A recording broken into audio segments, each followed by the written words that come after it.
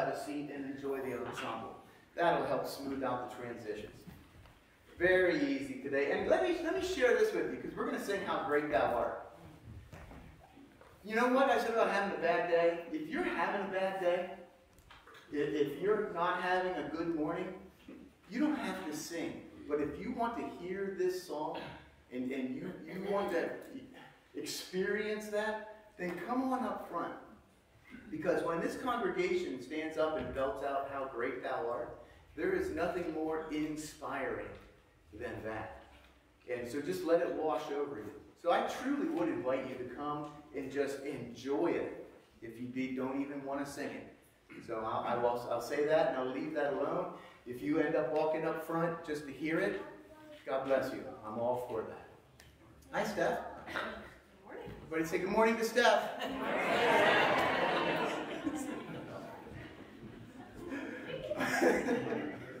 so let's open with a word of prayer and then we will enjoy the prelude music.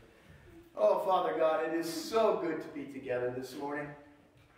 What an amazing and beautiful morning it is.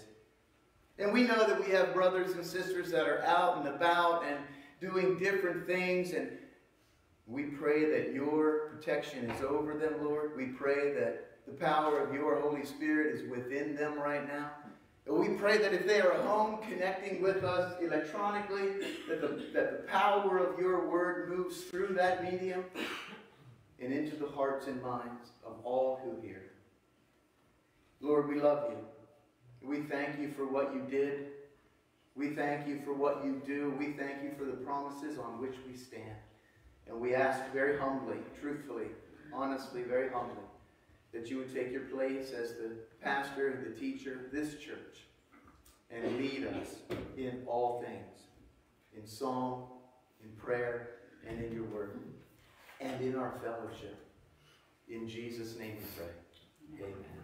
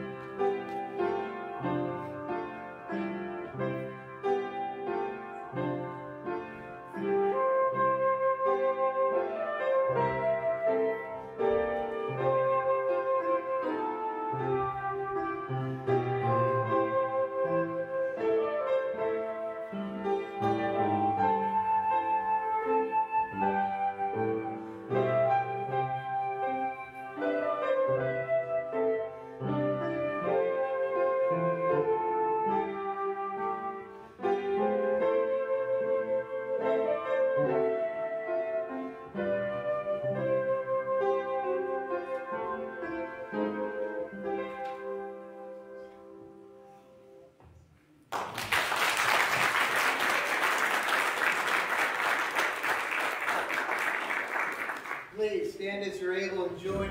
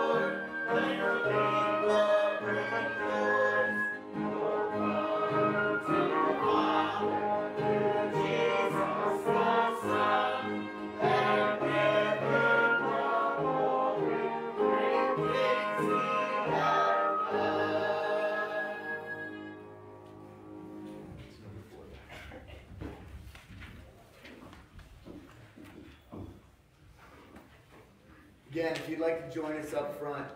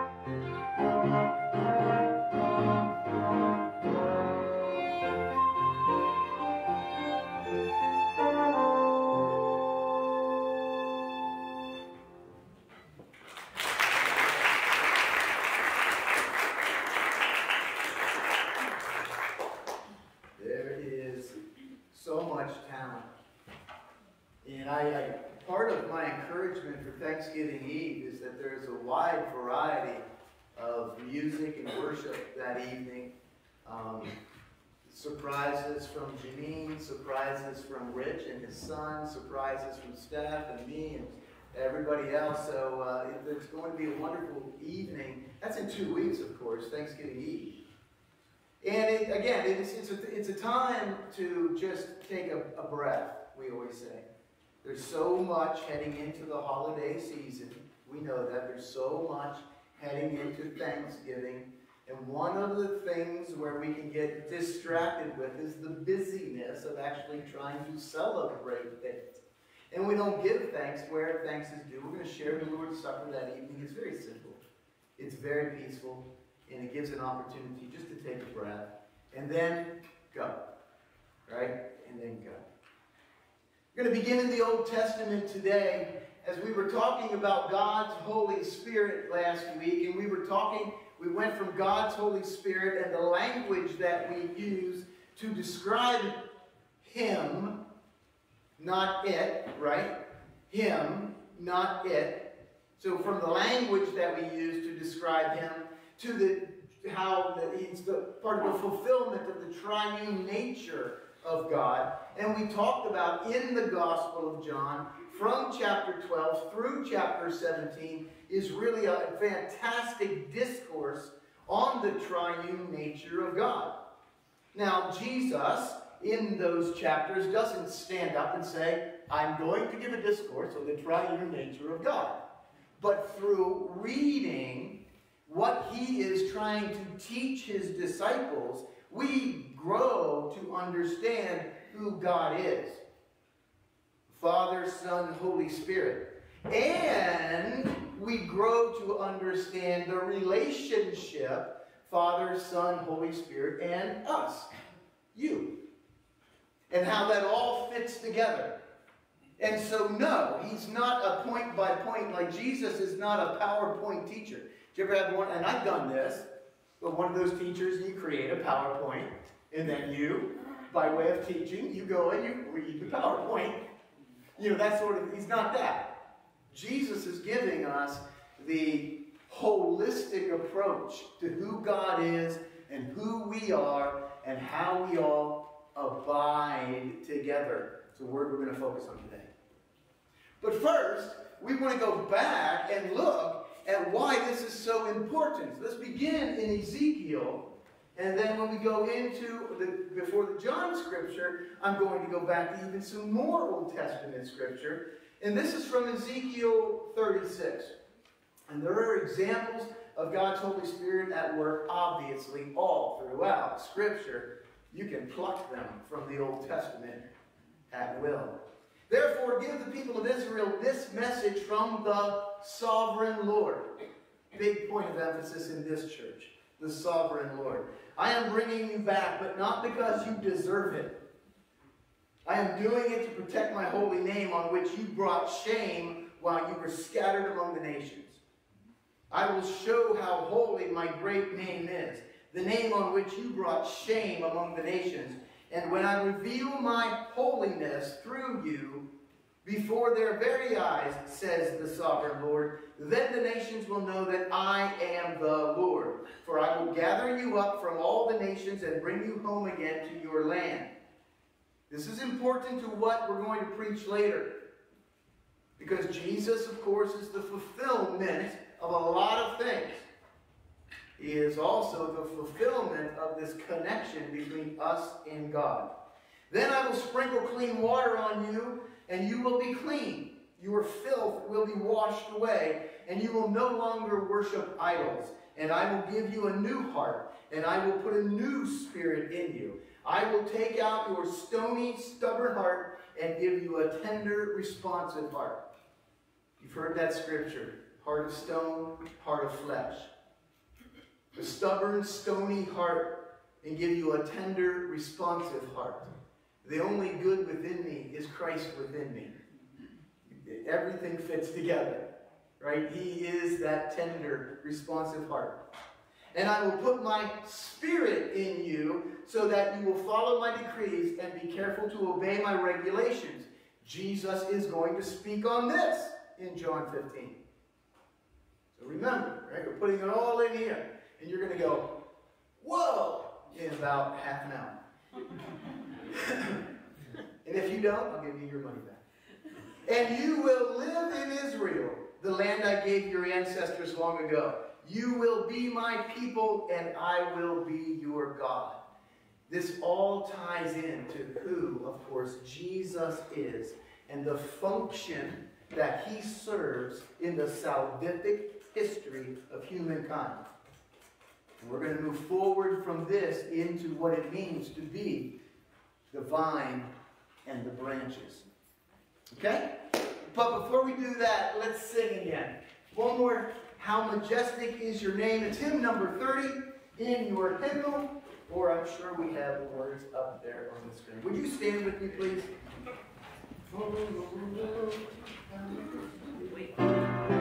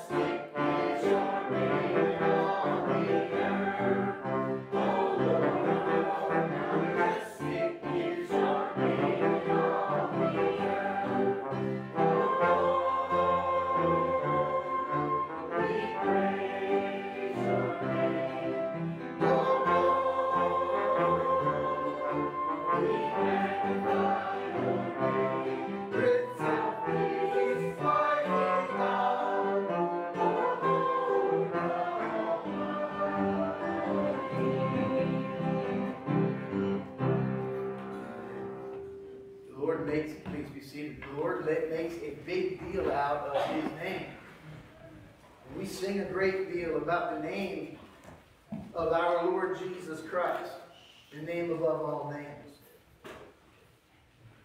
Now, I'm hoping that we got, did, did he get those, uh, Mark, did he get those four slides in? There we go. We know John 15 is about the vine and the, and the vineyard. We know that it is about the vine and the branches and the gardener and all of those things. You've read it many times before, and you've probably heard many sermons on John 15. But as I always try to do, I want to connect it, right? Jesus didn't teach this in a vacuum. Jesus didn't just come up with this as a brilliant idea, and this idea was not just splashed upon people when he spoke to his disciples on that day. The idea, one of the big motifs in all of Scripture is that of farming and, in particular, the vineyard. We hear a lot about farming, we hear a lot about uh, wheat and chaff, we hear a lot about fig trees, we hear a lot about vineyards. And there are reasons for all of that. We hear a lot, another motif, for example, is shepherding. We hear a lot about shepherds and shepherding and sheep and what shepherds do. And then Jesus comes forth and says, I am the good shepherd. He's the fulfillment of all of those failed shepherds in the past. And every human shepherd that ever was fails. Every human shepherd that ever is fails, even as we try to walk in God's grace and in God's will. He is the good shepherd. So he's the fulfillment of that. I want you to remember that when we're thinking about the vine and the vineyard. Because this motif, let, I just want to go here, Isaiah 5. And this I did this, this now I will sing for the one I love, a new song about his vineyard. My beloved had a vineyard on a rich and fertile hill. He plowed the land, cleared its stones, and planted it with the best vines. In the middle, he built a watchtower and carved a winepress in the nearby rocks. Then he waited for a harvest of sweet grapes, but the grapes that grew were bitter. Now, you people of Jerusalem and Judah, you judge between me and my vineyard. What more could I have done for my vineyard that I have not already done? When I expected sweet grapes, why did my vineyard give me bitter grapes? Now, let me tell you what I will do to my vineyard. I will tear down its hedges and let it be destroyed. I will break down its walls and let the animals trample it. I will make it a wild place where the vines are not pruned and the ground is not hoed, a place overgrown with briars and thorns. I will command the clouds to drop no rain on it. The God, Lord God has planted a vineyard, and who is tending to the vineyard? His chosen people, the Hebrews. How did that work out? Have you read your Old Testament? Not so well is the answer. So God has planted the vineyard, and through the law that was given on Mount Sinai, we humans try to tend to this vineyard, and the results are bitter. We have many human shepherds that have walked forward, and you can sing some of the big ones out of there. Of course, Moses comes to mind immediately. One failure after another. David, Saul, one failure after another. Let's go through the kings. Let's go through the judges. Let's go through all of the human shepherds of the vineyard. How did it work out? Not so well. The vineyard grew bitter. And so the Lord says, I will tear that all down and I will make it anew. When left to the devices, this is the, the, the, motif that I'm talking about here. And I want you to understand it because understanding John 15, Jesus is going to stand there right in the very first line and say, I am the true grapevine. My Father is the gardener. The law is no longer the grapevine. Any human shepherd that I place in front of or to tend to this vineyard is not the grapevine. I am the true grapevine. So we see this in the Old Testament. I mean, I have one another another example. Psalm 80. Come here, Psalm 80.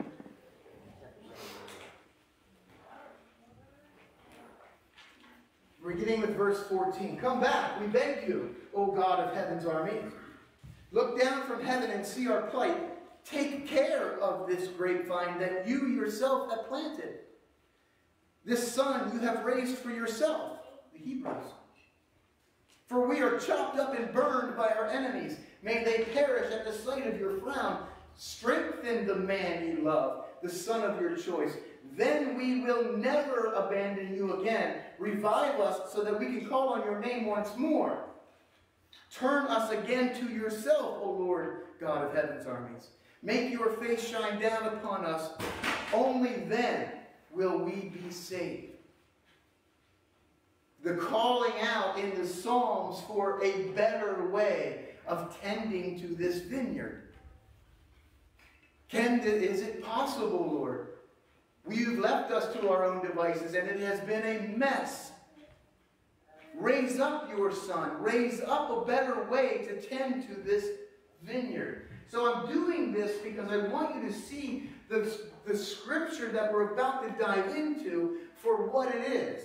Oftentimes, and I've preached this before, we look at, the, because we have chapter and verse in our Bibles, we look at it as individual lessons or lesson plans and they're taught out of sequence and they're, and they're taught in a vacuum. Meaning that what we're going to teach John 15 today, nothing came before it, that's relative to it, and nothing comes after it, that's relative to it, and that's not true. John 15, not only is it relative, as I have mentioned, from John 12 to John 17, it is relative to this whole teaching in Scripture.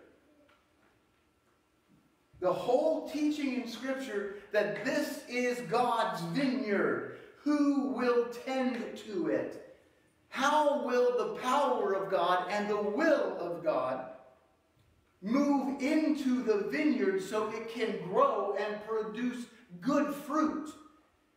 We have a whole history of God, say, investing in man, but maybe, you know, man being set over top charge of this vineyard even men after God's own heart like David, who have failed and failed and failed.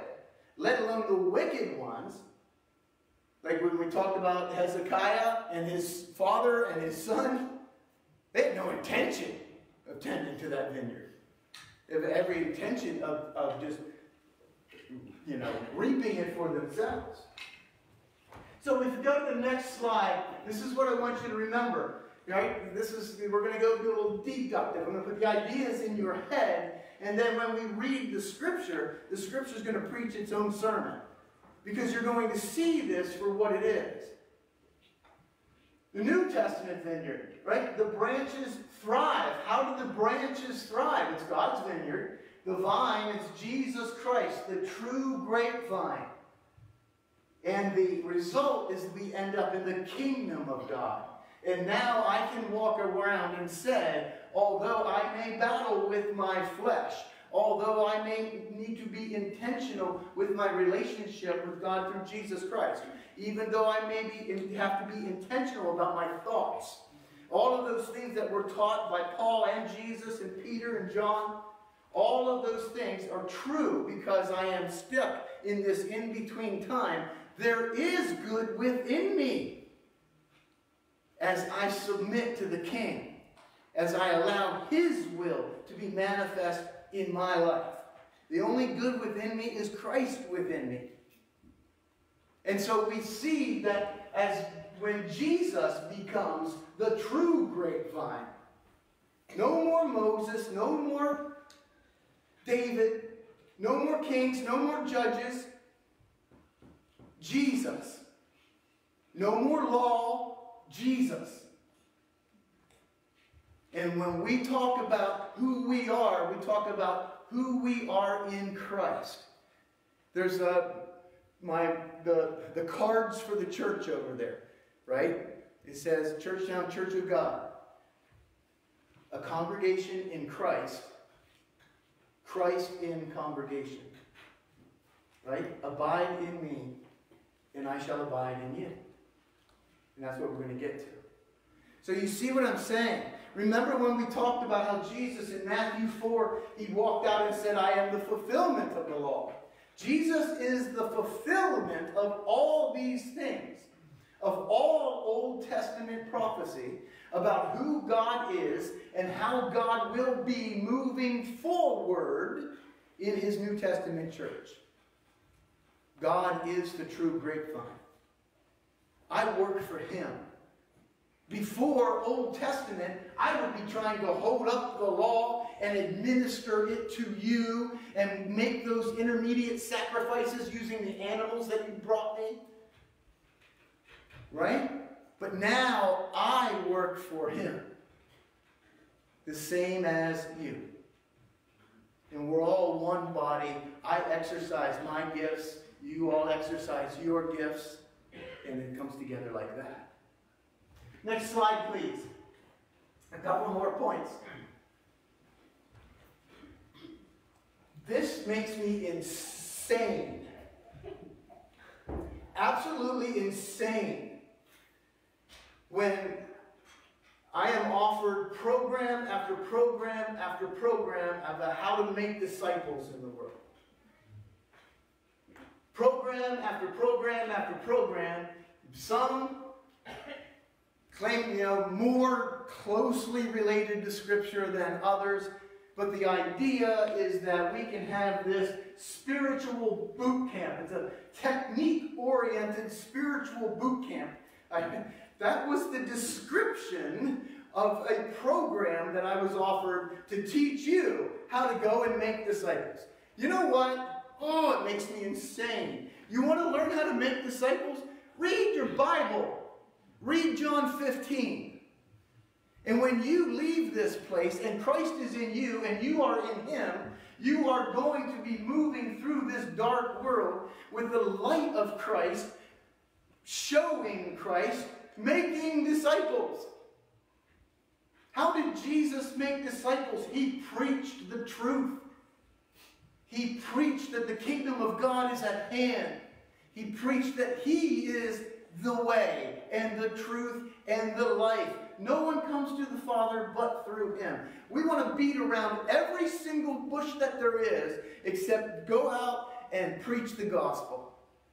I was told recently it's not the, it's not the foremost duty of any pastor to preach the gospel. That is an assumption. That is a huge assumption, Brian, and you can't back it up. Read your this makes me so insane. There are 188 verses about studying God's Word in the Bible. 188 times we are told and commanded to study God's Word. There are 77 references to teaching God's Word in the Bible. There are 46 references to teaching it from one generation to another generation. Every job description that you look, and I hope you're listening, every job description for every pastor that is a legitimate job description, the first and foremost few lines of it are, you must be a faithful servant of Jesus Christ, rightly dividing the word of God for the congregation. If I can't do that, if Christ does not abide in me, and I do not abide in him, and we can't abide in Christ and he abide in us, all bets are off. Then you know what this is? It's the Churchtown Church of God Community Center. And welcome to your Christian-based counseling. At best. Don't tell me it's not the first more. That's an assumption. And my comeback was, no, it's not an assumption. It's the truth.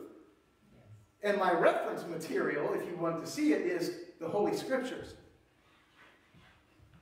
it's not universally accepted. That, that doesn't make it any less true.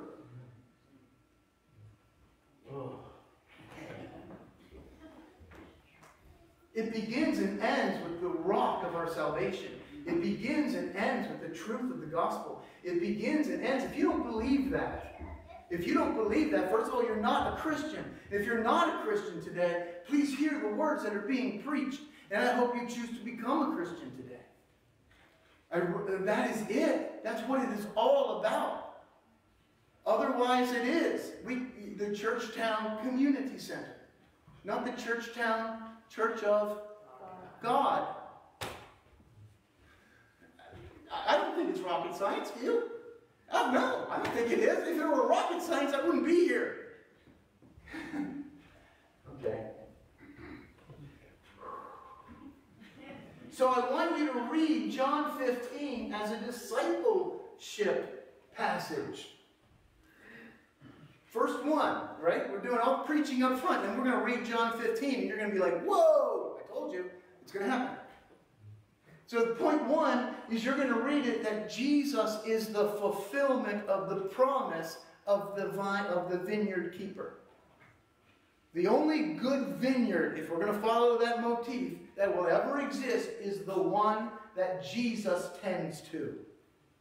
And we have a long history, like I said, of humans tending to it. Eh, not so good. The second thing I want you to read John 15 for is that it is discipleship. Without John 15, there is no discipleship. Don't hand me some stupid program about how we're supposed to go out and make five points about something and whatever. We go out, we are the gospel. We are Christians. We speak in that way. We live in that way. And if people want to know what we believe, we tell them what we believe and why we believe it. And if you can't do that right now, it's my fault because that's part of my job and my giftings. We need to be able to do that as a church so people can see the truth, hear the truth, understand the truth. Uh, was there a fourth slide? I got all caught up. Is there another one? The cornerstone of the church and of all preaching is God. I shared this. It's the duty of every shepherd to preach this understanding. There is no discipleship outside of life in Christ. So preach the good news. And if you need more references than the 177 that I can give you right now, if you want me to stand here and list them, I'd be happy to have another conversation with you. But nobody will ever hear unless they people go out and tell them. And that's all over Scripture.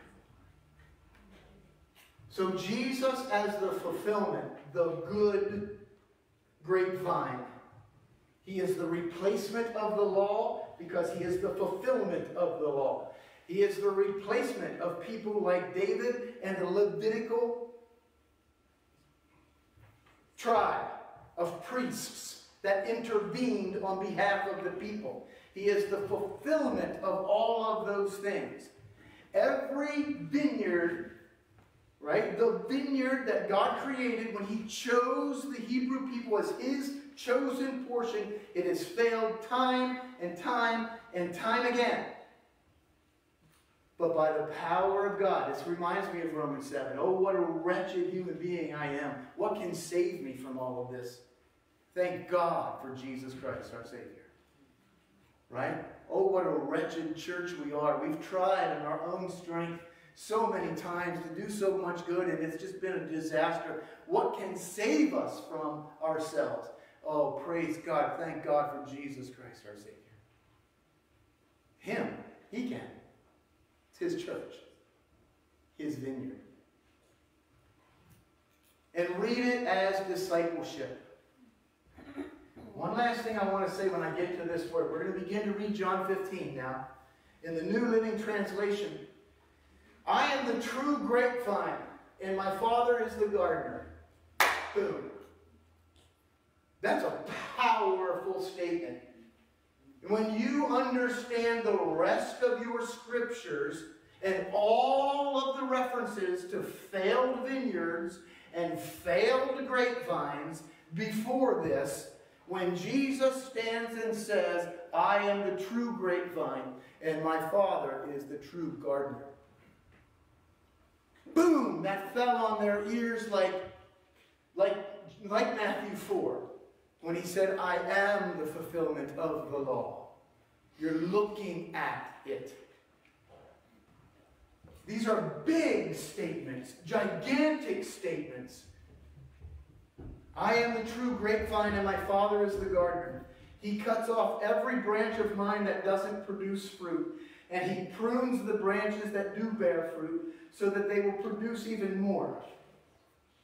You have already been pruned and purified by the message I have given you. Remain in me, and I will remain in you. This is where modern translations fail. Because the better word choice is abide in me, and I will abide in you. But you know why it fails in modern translations? Because modern translators, it's a harder concept to understand. So let's dumb it down and make it a little easier to understand.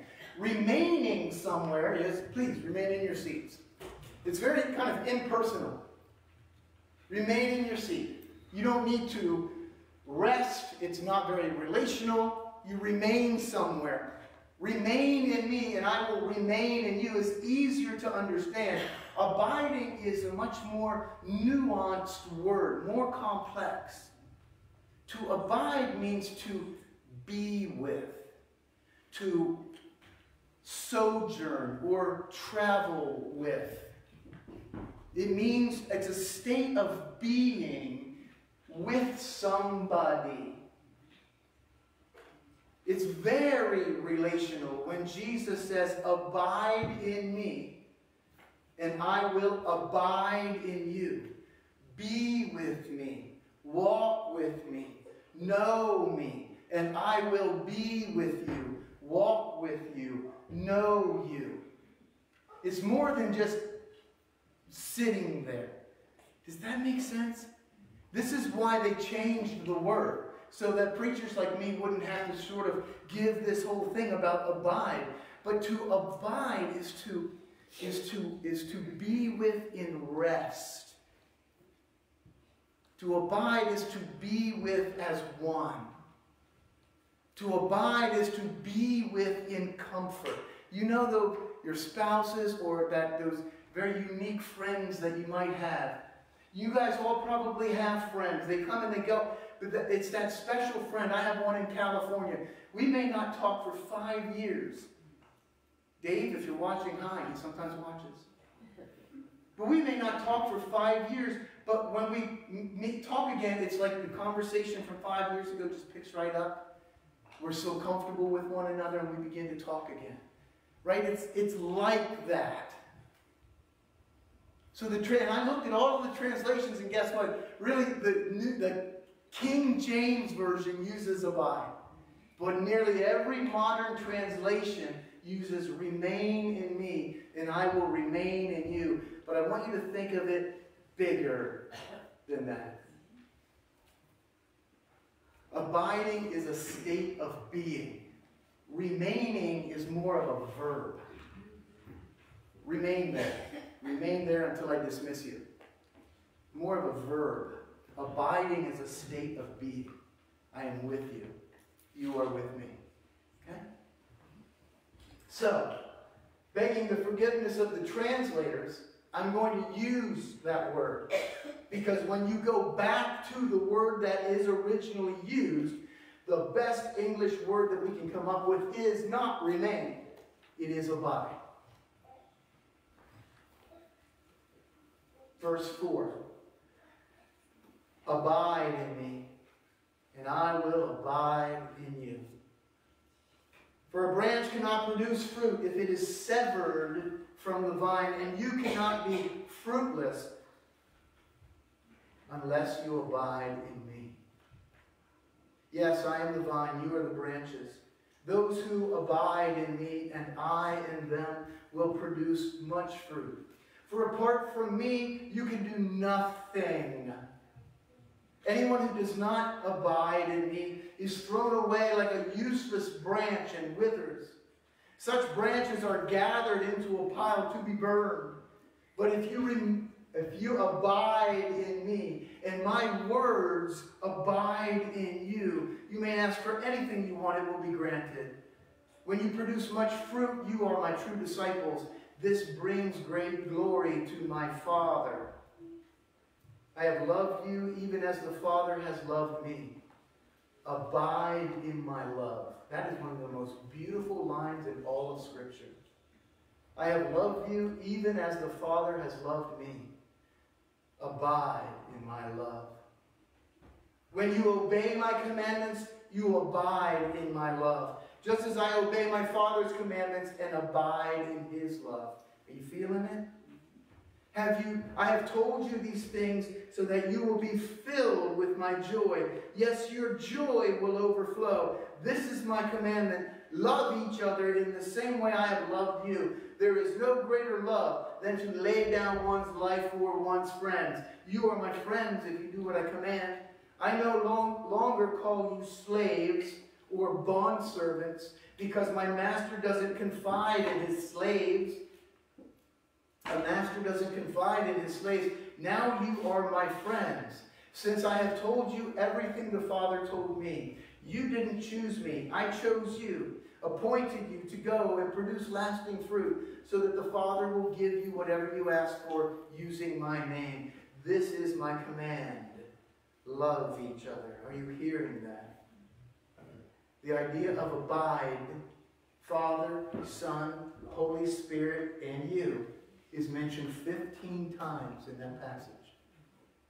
This is a, this is a scripture about being a Christ-filled follower. It's a scripture about how this relationship works. It's a scripture that speaks to us as individuals because you will do no work that glorifies the Father. You can go out and do all the things in the name of churchianity that you want to do, but if you are not abiding in the Father, if you are not led by His Holy Spirit and living in His will, you are not bringing glory to the Father. That is the truth and the reality. The truth and the reality that Christians and non-Christians alike would like to avoid. Abide in me, and I will abide in you. And ask them for what you want, and it shall be given to you. It's important.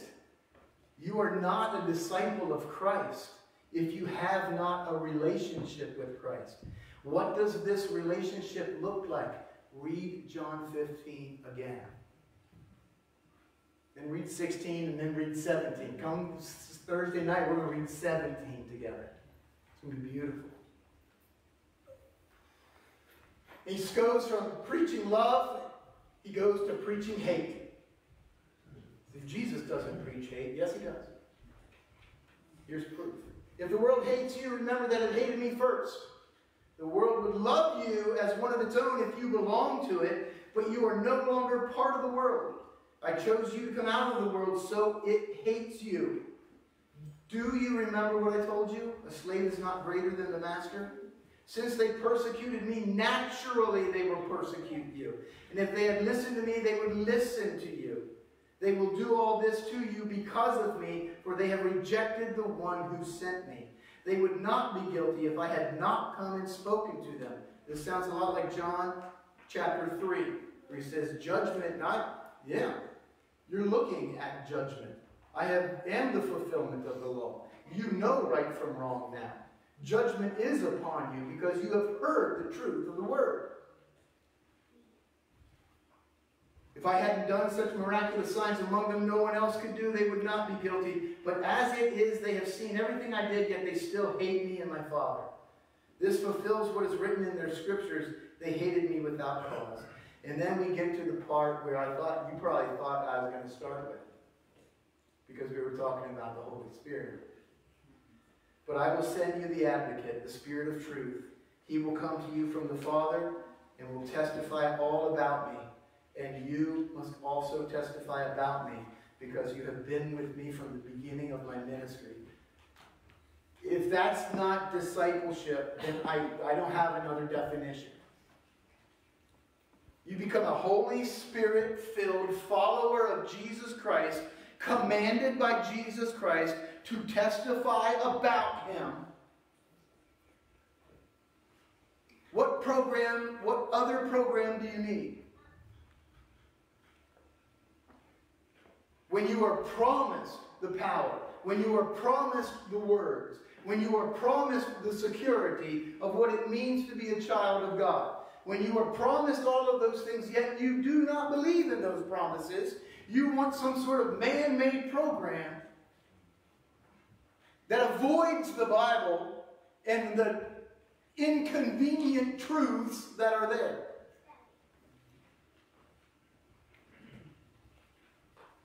Coffee shop discipleship, friendship discipleship. It's been my experience that if you are in, in the midst of friendship discipleship, there's a lot more of the going out and having coffee part than there is about the discipleship part. Well, I've been discipling this individual for three years. We've been having coffee. Have you told them anything about Jesus? I mean, that sort of thing.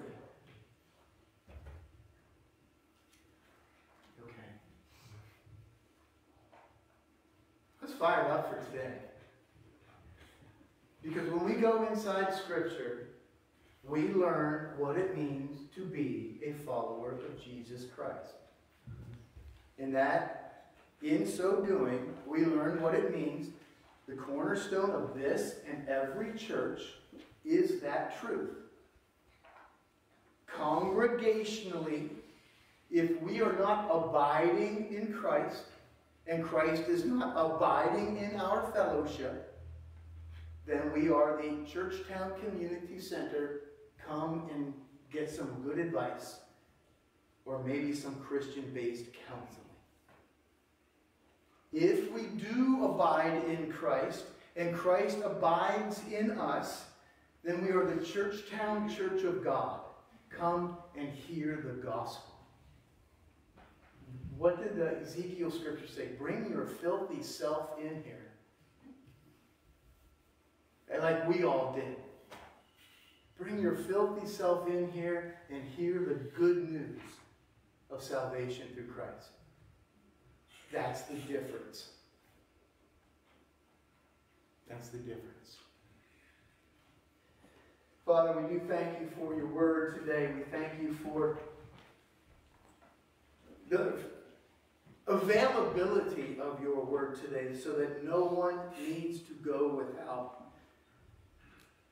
Lord, we pray that by the power of your Holy Spirit, you would open our eyes and open our ears to the truth of your word, that we may read and hear your word, your living word, that we may grow and become the disciples that you see us to be. That we may grow and become the church that you see us to be. Only, only by the power of your Holy Spirit. In Jesus' name. Amen.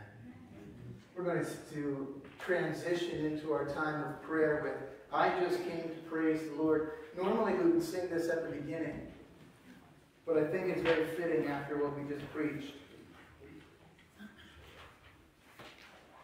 I just came to praise the Lord. Would you stand with me, please? We move into our time